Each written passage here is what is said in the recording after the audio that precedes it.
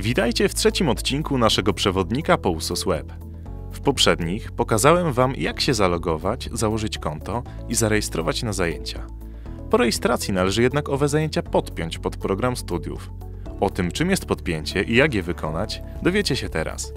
Omówię również inne funkcjonalności USOS Web, które mogą się Wam przydać w trakcie toku studiów. Zaczynajmy!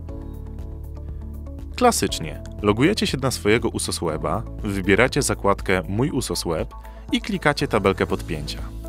Zapytacie pewnie, po co w ogóle podpinać te przedmioty? Już tłumaczę. Mówiąc najprościej, podpięcie to informacja dla systemu USOS, w ramach jakiego programu realizujecie dany przedmiot. Co prawda rejestracja automatycznie podpina przedmiot pod program, jednak waszym zadaniem jest podpięcie go pod dany etap – Dzięki temu przy rozliczeniu system jest w stanie policzyć zdobyte przez Was punkty ECTS oraz obliczyć średnią przyporządkowaną do danego roku. Podpięcia są obowiązkowe. Przedmioty, które nie zostaną podpięte pod etap, są po zakończeniu rejestracji usuwane z kont studentów. A zatem, jesteśmy w oknie podpięcia, gdzie wyświetlają się Wasze przedmioty zarówno z obecnego semestru, jak i ze wszystkich poprzednich. Szukacie rubryki z obecnym cyklem, w moim przypadku jest to semestr letni 2019-2020. I teraz po kolei lub za pomocą opcji Zbiorcze podpięcie podpinacie owe przedmioty do programu studiów.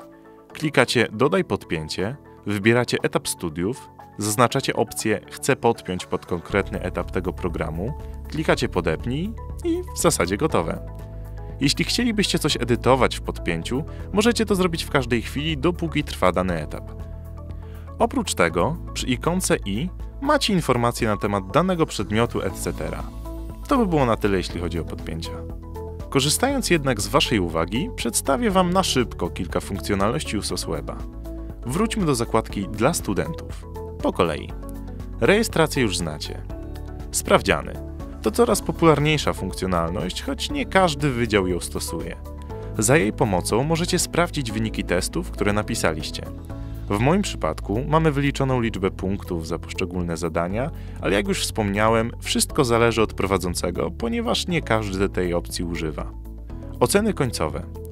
Są tutaj zebrane wszystkie Wasze oceny przez cały okres trwania Waszych studiów.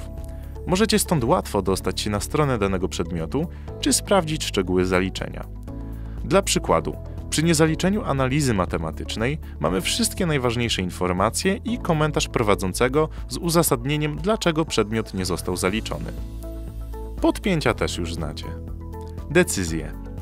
Jeśli czekacie na decyzje dziekanatu dotyczące indywidualnych zmian w waszym programie studiów, to właśnie tu znajdziecie ich treść.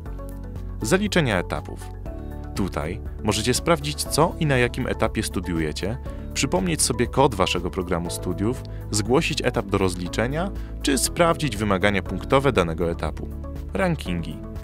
Co ambitniejsi z Was mogą sprawdzić swoją pozycję w poszczególnych rankingach. Polecam tę opcję zwłaszcza tym, którzy zamierzają starać się o stypendium rektora.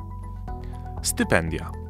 Tutaj możecie znaleźć informacje o stypendiach, jednak dotyczą one wyłącznie stypendiów już Wam przyznanych.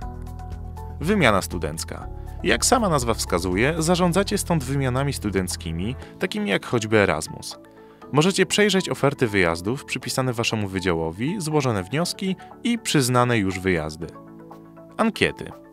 Pod koniec każdego semestru za pomocą ankiet możecie ocenić zajęcia, w których braliście udział.